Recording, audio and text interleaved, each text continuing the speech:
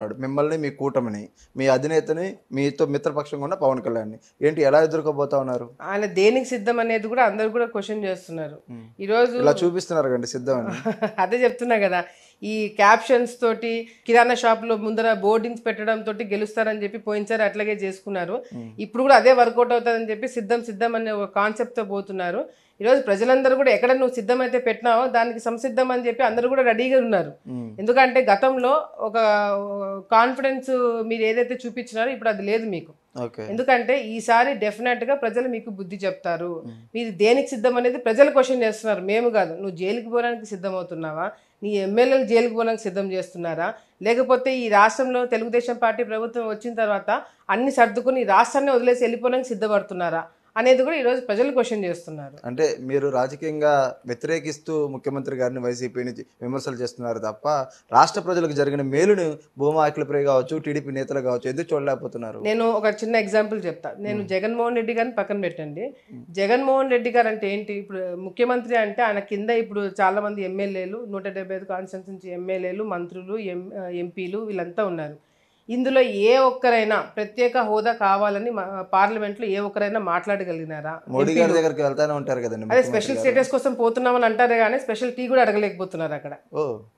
So వాళ్ళ పరిస్థితి ఎట్లా ఉండిందంటే మా కేసులలో మమ్మల్ని బయటికి లాక్కపోతే చాలు అనే కాన్సెప్ట్ ఇన్ని రోజులు బీజేపీ దగ్గర వాళ్ళు తిరగడం జరిగింది. బీజేపీ వాళ్ళు ఏం చెప్తే అది చేయడం జరిగింది.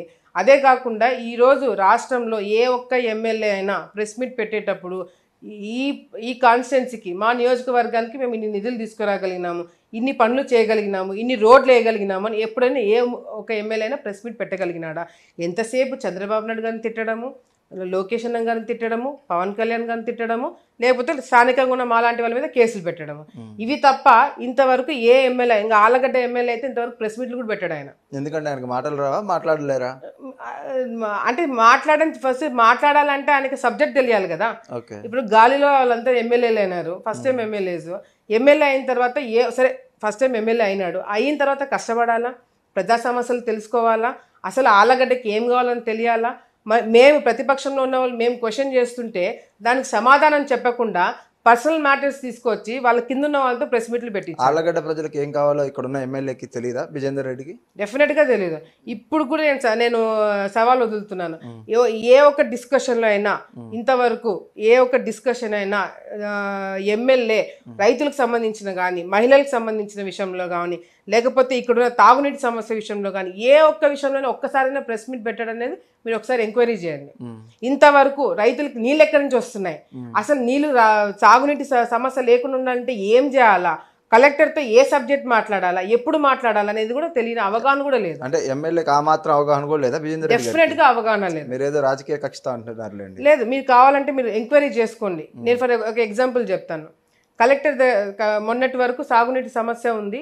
కేసీ కెనాల్కి నీళ్ళు రావట్లేదని చెప్పి రైతులు కాళ్ళ వెళ్ళబడినారు ఎమ్మెల్యే కాళ్ళ వెళ్ళబడినారు ర- ర- ఎమ్మెల్యే ఇళ్ళ కాడికి పోయినారు. వాళ్ళ నాన్న గంగుల ప్రభాకర్ రెడ్డి గారు సాగునీటి సలహాదారుడు. ఇప్పుడు రాష్ట్రానికి. సో ఆయన దగ్గరికి వెళ్ళినారు. మాకు నీళ్ళు కావాలా కావాలా కావాలని చెప్పి మొత్తుకున్నారు. ఇంతవరకు నీళ్ళు మాకు ఇవ్వలేకపోయినారని చెప్పి ఇంకా వేరే దారి లేక నాకు వచ్చి నా మా ఇంటి తలుపు కొడితే నేను కలెక్టర్ దగ్గరికి వెళ్ళినాను. వెళ్ళి కలెక్టర్ దగ్గర ఒక్కదానికి పోలేదు. ఒక ఐదు ఐదు వందల మంది ఆరు వందల మంది రైతులు తీసుకొని పోయినాం. కలెక్టర్ గారితో మేము మాట్లాడడం జరిగింది. ఎందుకు నీళ్ళు ఇవ్వలేకపోతున్నారంటే నీళ్ళు లేవన్నారు. కలెక్టర్ కూడా తెలియని విషయం కలెక్టర్ కూడా తెలియని విషయం ఏంటంటే ఆ, దాదాపుగా మనకు తుంగభద్ర దగ్గర నీళ్ళు ఉన్నాయి. తుంగభద్ర దగ్గర నుంచి నీళ్ళు తీసుకురావడానికి అవకాశం ఉంది సార్. మీ అధికారులు మీకు సరిగ్గా చెప్పట్లేదు. ఆ నీళ్ళు మనం కిందికి తెప్పించుకోగలిగితే మాకు చాలా ప్లస్ అవుతుంది. దాదాపు దాదాపుగా మూడు వేలు నాలుగు వేల ఎకరాలు సారీ ముప్పై నాలుగు ముప్పై వేల నలభై వేల ఎకరాలకి నీళ్ళు తెప్పించడానికి అవకాశం ఉంది.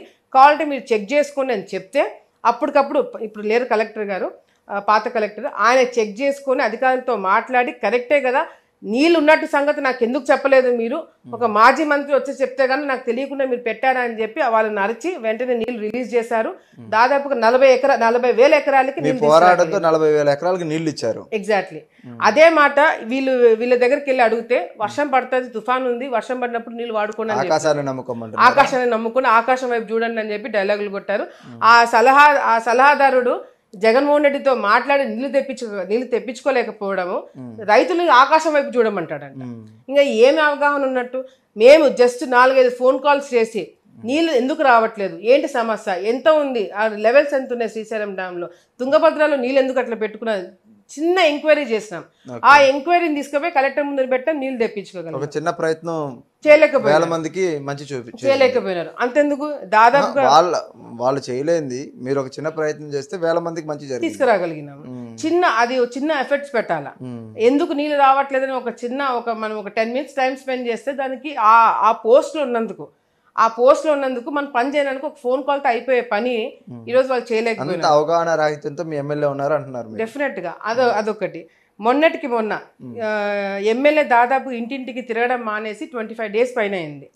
ట్వంటీ ఫైవ్ డేస్ మీకు భయపడా? లేకపోతే మిమ్మల్ని ఎదుర్కోలేక? అంటే టికెట్ ఇంకా అనౌన్స్ కాలేదు కాబట్టి అంటే అలిగి కూర్చున్నారా ఏంటి? ఏమో తెలియదు వాళ్ళ ఇంట్లో వాళ్ళే కొట్లాడుకుంటున్నారని చెప్పి అంటున్నారు. But whatever it is twenty five